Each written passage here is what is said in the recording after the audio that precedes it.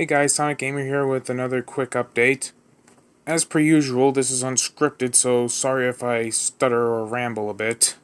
So, you probably noticed I haven't been uploading much, and I started to see the consequences of that. Now, for those who don't know, in order to, in order to make monetization on your channel, you need at least a thousand subscribers and at least 4,000 hours of watch time uh, in the past year and my total watch time has dropped. So yeah, looks like I'm not making a uh, I'm not making any money off these videos anytime soon. Not that I actually was before, or because I didn't have any form of payment to add to Google AdSense. So yeah, I don't really know why I haven't been uploading much lately. Maybe it's a lack of motivation or something. I don't know.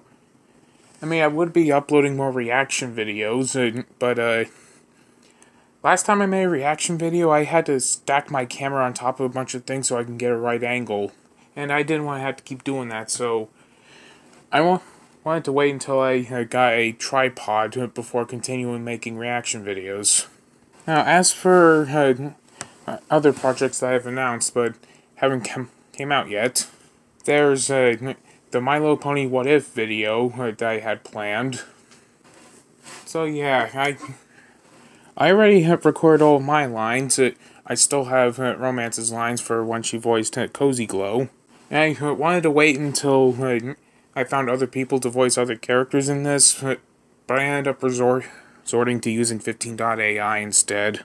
Also needed someone to make some original artwork. Of, now, I'm mostly going to be using screenshots from the show, but also going to need some original artwork from someone. Now, as for my Sonic Tales uh, project, all the uh, voice actors involved already have their uh, lines recorded.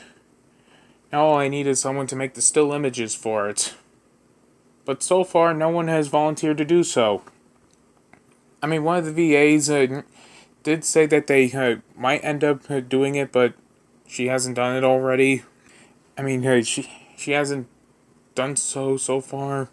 You know, at this point, I feel like I might as well just to just have to pay someone to make original artwork.